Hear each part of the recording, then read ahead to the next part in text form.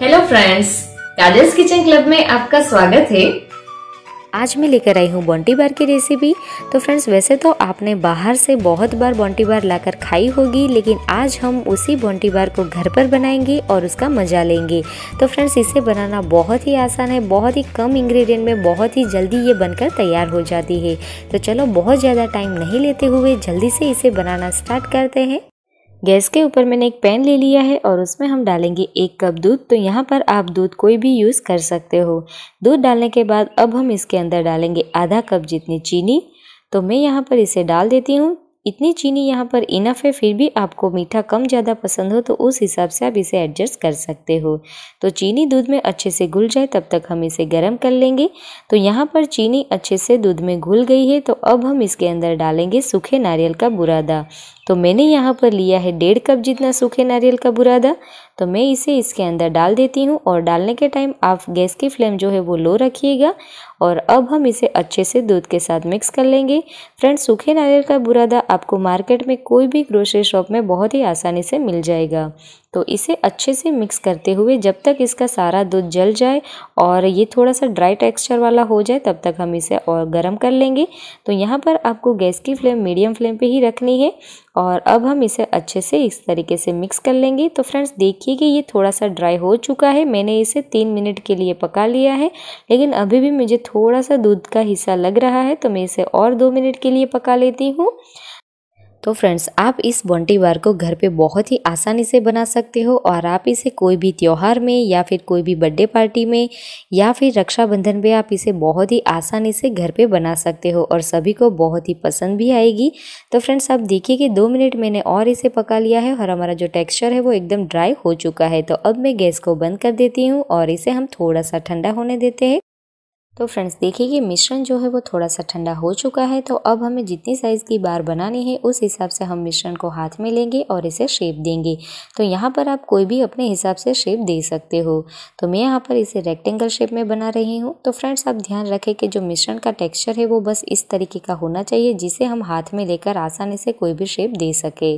तो देखिए फ्रेंड्स मैंने हाथ से ही इसे अच्छे से शेप दे दिया है तो बहुत ही आसान है इसे बनाना। तो इसी तरीके से सारे रेक्टेंगल शेप शेप में मैंने इस बार को तैयार कर लिया है फ्रेंड्स देखिए। तो यहाँ पर मैंने थोड़े से इस शेप में और थोड़े से मैंने स्क्वायर शेप में बना लिए हैं। आप कोई भी एक शेप में भी इसे बना सकते हो। तो अब हम आगे की प्रोसेस कर और हाँ ये अच्छे से सेट हो जाए उसलिए हम इसे 10 से 15 मिनट के लिए फ्रीज में रख देते हैं। आप चाहो तो इसे रूम टेम्परेचर पे भी सेट कर सकते हो। तो फ्रेंड्स यहाँ पर मैंने गर्म पानी ले लिया है। और उसके ऊपर हम रखेंगे एक बॉल और बॉल के अंदर मैंने ली है करीबन 150 ग्राम जितनी मिल्क कंपाउंड चॉकलेट। आपके पास मिल्क कंपाउंड चॉकलेट ना हो तो आप इसकी जगह पे डार्क कंपाउंड चॉकलेट का भी यूज़ कर सकते हो या फिर कोई भी डेरी मिल्क चॉकलेट का भी यूज़ कर सकते हो। तो इसे हम अच्छे से इस तरीके से मेल्ट कर लेंगे फ्रेंड्स। देखिए, एक भी चॉकलेट का टुकड़ा नहीं रहना चाहिए, थोड़ा बहुत रह गया तो भी अच्छे से इसे वापस से हम मिक्स करेंगे और एकदम स्मूथली इसका बैटर जैसे रेडी हो उस तरीके से इस चॉकलेट को मेल्ट कर लेंगे। तो यहाँ पर फ्रेंड्स मैंने गर्म पानी हटा दिया है और ये हमारी चॉकलेट जो है वो अच्छे से मेल्ट हो चुकी है।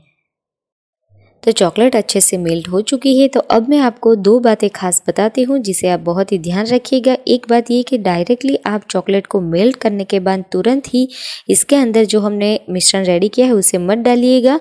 और दूसरी बात ये कि बहुत टाइम मत लगाइएगा, वरना क्या होगा कि चॉकलेट बहुत ही जल्दी जमने लग जाती है तो अच्छे से कोटिंग नहीं होगी।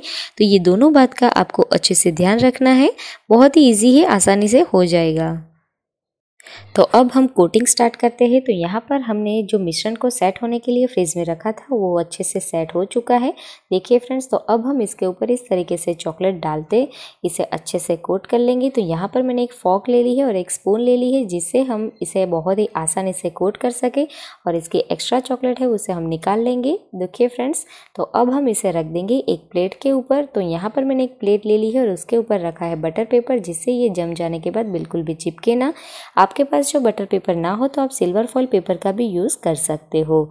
तो अब हम इस तरीके से वन बाय वन सभी चॉकलेट्स को इस तरीके से कोट कर लेंगे और इसके ऊपर रख देंगे। आपको बीच में लगे कि चॉकलेट जो है वो थोड़ी सी ठंडी हो चुकी है तो वापस से आप इसे थोड़ा सा डबल बॉयलर की मदद से गर्म कर लीजिएगा और फिर कोट कीजिएगा।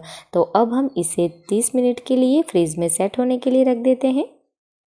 30 मिनट के बाद आप देखिए फ्रेंड्स, चॉकलेट बहुत ही अच्छे से सेट हो चुकी है। तो आप देख सकते हो कि इसके आसपास में जो एक्स्ट्रा चॉकलेट लगी हुई है, इसे हम कट कर लेंगे। बहुत ही आसानी से कट हो जाती है।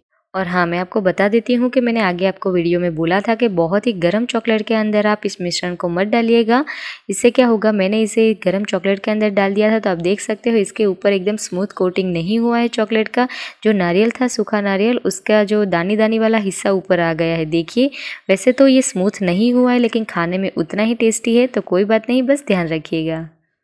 तो यहाँ पर मैं आपको एक बार को कट करके भी दिखा देती हूँ। बहुत ही आसानी से ये कट हो जाती है और जैसे बाहर मिलती है, वैसे ही बॉन्टी बार घर पर बहुत ही आसान तरीके से बनकर तैयार है। तो इन त्योहारों में आप इसे ज़रूर ट्राई कीजिएगा और मेरी रेसिपी आपको कैसी लगी मुझे कमेंट में ज़रूर बताइएगा और मेरे चैनल पर पहली बार आए हो तो मेरे चैनल को सब्सक्राइब करना ना भूलना। ऐसी ही नई रेसिपी के साथ जल्दी ही मिलेंगी, तब तक के लिए बाय